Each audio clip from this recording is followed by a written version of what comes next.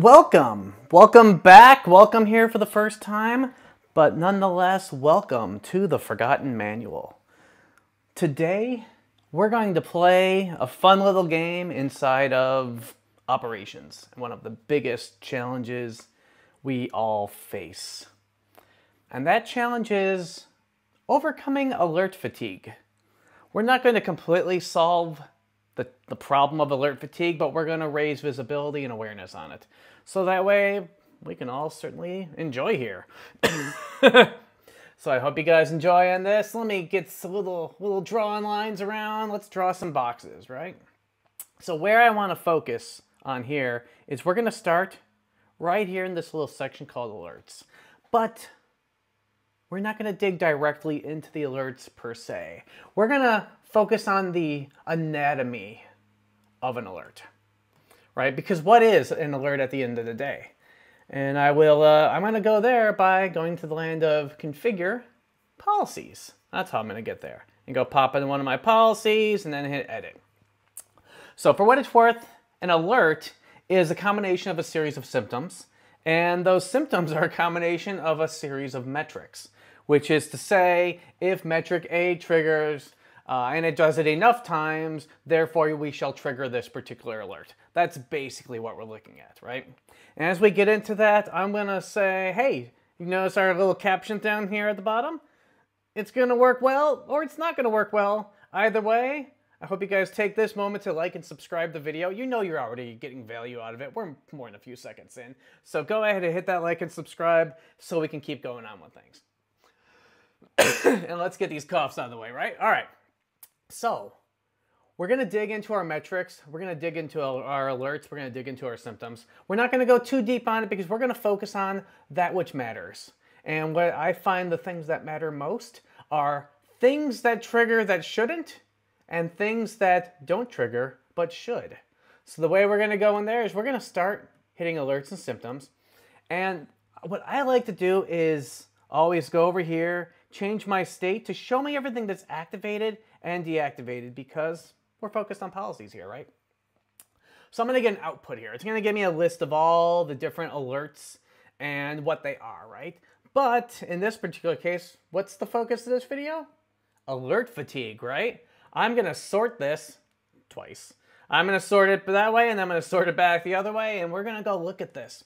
So what the first thing I'm noticing here is I have this virtual machines violating CIS. Uh, this is an active alert, so I've received 47 alerts of that. You notice how there's a, let me go draw, grab my little box, right? Let me go grab my little box there.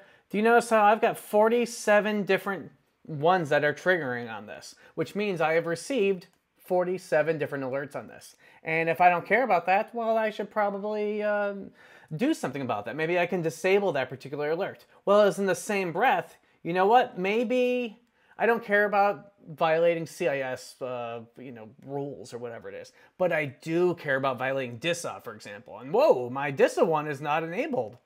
So that kind of raises the question of, of hey, maybe I want to go and, and disable this one alert, you know, which is as easy as me grabbing my cursor again, as easy as me going and grabbing that and then deactivating that policy. Or I go to this other one that's currently deactivated by inherited by policy and say, you know what, I actually not, I need that thing to be enabled. I'd like to go and activate that. But then I walk through the list of, of all these different ones. I'm like, okay, okay, cool. Uh, ESXi host is violating this thing. That's activated. Uh, that's 40 alerts that I'm not going to do anything about, or or I am. Uh, hey, HIPAA is over here. Great, I'm a healthcare provider. I need to have these HIPAA ones. I'm not a healthcare provider. Let me go and disable this. What's nice about this is you have that flexibility because right now we're just looking at alert definitions and we can look at all of the alerts as themselves, right? Anything that's been triggered once or what have you. But right now I'm dealing with alert fatigue. I've got all these alerts and I'm like, there's some of them I don't care about. So I'm gonna go and disable those alerts. And that's kind of the key here. That's not necessarily that we want to go pop over into system symptom definitions and disable a lot of these ones, but we'll go take a look at which ones happen to be in here. I wouldn't necessarily encourage the active disablement of a symptom uh, per se. I would encourage the active enablement of something that is in fact disabled. So for example, hey, you know, what does that say? Or a grid file system less than a certain size. It's going to tell me about that. But yet storage core and storage DB, it's not telling me about that when it's over a, you know, it's a certain threshold. In fact, we're going to dig into that storage core for a second here. What I'm to do is I'm going to clear this entire thing and type, go here, type in storage core, and it's going to show me all of the alerts relevant to that. And I will say, do we, we get them from Skyline. That is absolutely awesome that we're getting this alerting reporting information from Skyline. However, if you don't have Skyline enabled, you don't have Skyline installed, or you have it enabled, you have it installed, but you don't have it integrated with VROPS, then I won't know about the health of my storage core because I never integrated my VROPS or ARIA operations over with Skyline which that's a separate thing. Maybe you should go and enable your Skyline, but in the meantime, it naturally deactivates that particular policy because it thinks that you're getting that information from Skyline. So this is an important part of know what is enabled, but more importantly, know what is disabled, right? Because it'll be important. Let's just dig right into, again, we're only looking at symptoms at the moment, only looking at symptoms that are deactivated. So I can get a sense of, oh, I, I want to know my boot file system is over this particular threshold, this particular metric. So I can dig into these areas.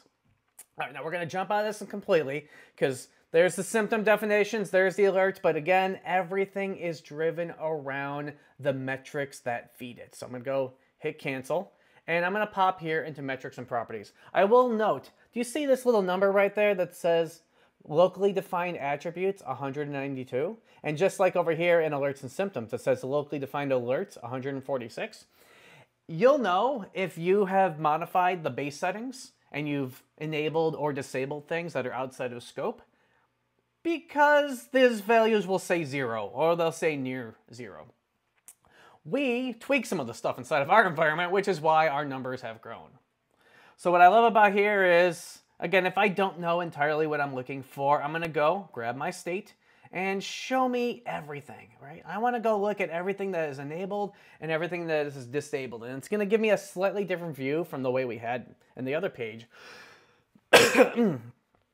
what I like about this is I'm have everything broken down, but you see this? Let me go grab a little arrow again. I love to highlight that.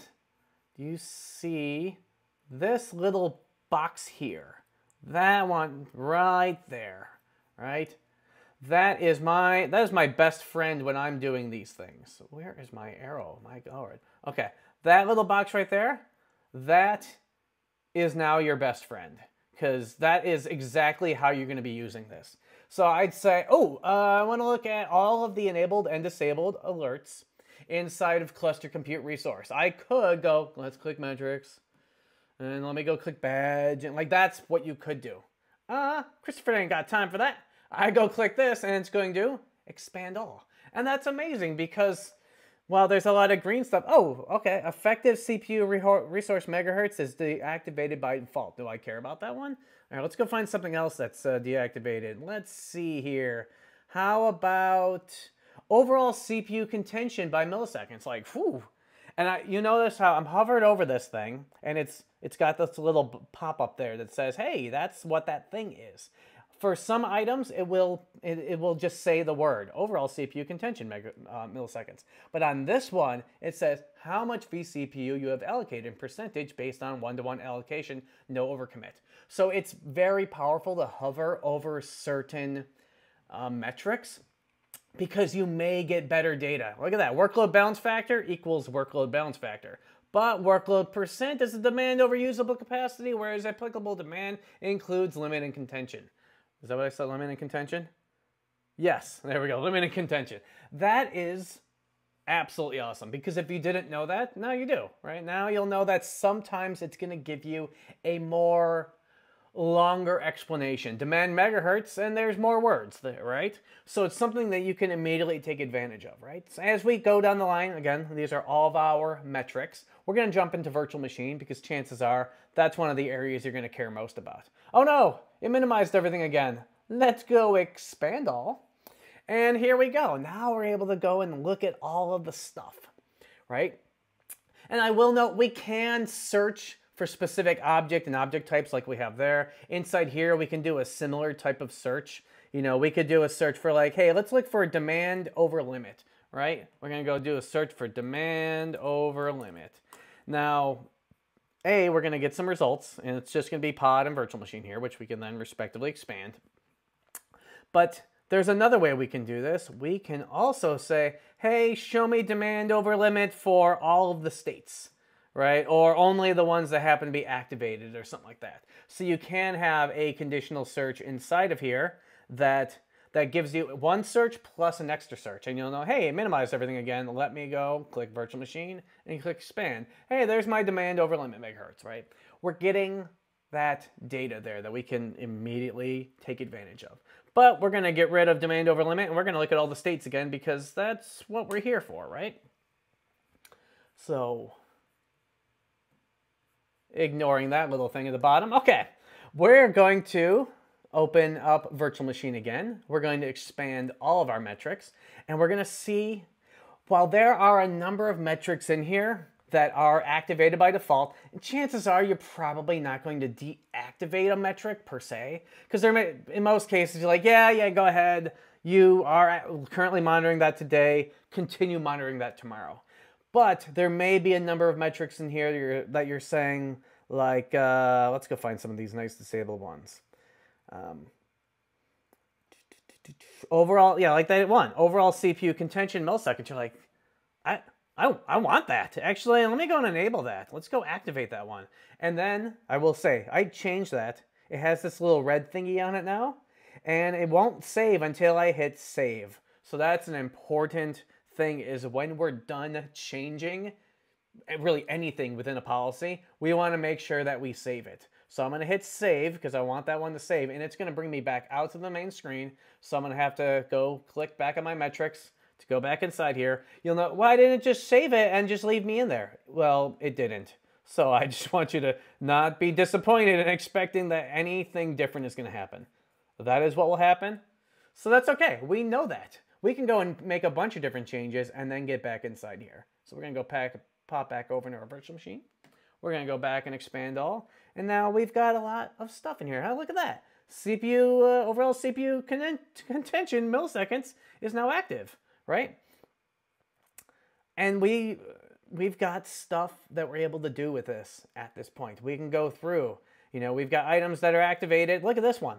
Effective limit megahertz is activated, but the instanced state for it is deactivated. So you can have an active metric that is not collecting. And that's the key. I just enabled that one, but I enabled it, but I didn't actually change the state of it, so it's technically not going to collect that. So let's go, uh, let's go back over to that one. Um, overall CPU contention it was activated. Now I'm going to change its instance state to collect.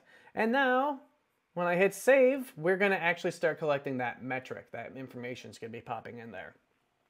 And hey, look, our locally defined attributes have increased. So the key on all this is we want to minimize our alert fatigue by doing things like deactivating alerts that we will never do anything about. That's the catch. If you get the alert and every time you ignore it, and and maybe it's an alert that doesn't matter to you, but if you get alerts and every time you are choosing to just ignore it, then you probably should disable that particular one, right? We're going to go and look at all the alerts for virtual machines. So we're looking by object type. So I've got all these different alerts. I can sort by state and what have you. But if I, uh, honestly, most of these I would keep, right? A CPU high on VM, guest mismatch. Let's see something over here another page, right? Uh, virtual machine, no, that's a deactivated one. Virtual machine has memory contention due to memory compression, ballooning, or swapping. I would 100% want to know that particular alert is happening. But hey, violating CIS, mm, okay, maybe I don't want that. Virtual machine is running on snapshots more than two days. I absolutely want to be alerted about that. Uh, I also then want to take advantage of Automation Central to do something about that, but that's a separate matter. You know, when you check out my other video around, uh, you know, ways to optimize your environment and using Automation Central. But as you go down the line and you check out the alerts that are triggering most for you, right? Look at this one. Virtual machine is violating risk profile one it's happened 29 times. uh, I didn't do anything about it today. I didn't do anything about it tomorrow. I'm not going to do anything about it the next day. Let's go and disable this particular alert. And then I can reduce my alert fatigue by 29. That's the key is getting yourself actionable alerts, things you're doing something about, and then doing something about those particular things. That's a very powerful thing in here. And sometimes it may come the case of I need to modify the criteria for which this alert operates on, right? Uh, what do we have here? vCenter partition greater than 90% full. Let's go pop inside that thing. And that this thing is based upon a condition of, you know, uh, hey, if this thing is over 90% full. So we can go and find that particular symptom and then tweak it to say 90%, no, no, no. How about 95%? Or whatever. Like we have all these different attributes here, right? So I could actually increase that to say, hey, let's make that 95%. And then the state changes and we can go and, you know, tweak and modify and such, whether we're doing it within the alert or doing it within the symptom or what have you. And again, remember, everything is based upon metrics. That's the power on this. Metrics feed symptoms, symptoms feed alerts, alerts feed you a whole bunch of things that you need to do on a daily basis. At which point it then feeds in, yes, I want to proceed. It feeds this whole big picture of different types of notifications and messages that are going to pop up. So we're going to break there. There's so much deeper and things we can go into, but there comes a time in our life that we need to stop. so with that said, I hope you guys enjoyed the video. Definitely go and give it a like and subscribe that you watched it. That's going to help me produce better and awesome, more awesome content and things like this. So I hope you guys enjoyed, and we'll go a little deeper next time on some of uh, more of this. And if you have things you'd like to see deeper, definitely put it down in the, the comments below. So I will see you guys on the next one, and thank you for watching the Forgotten Manual.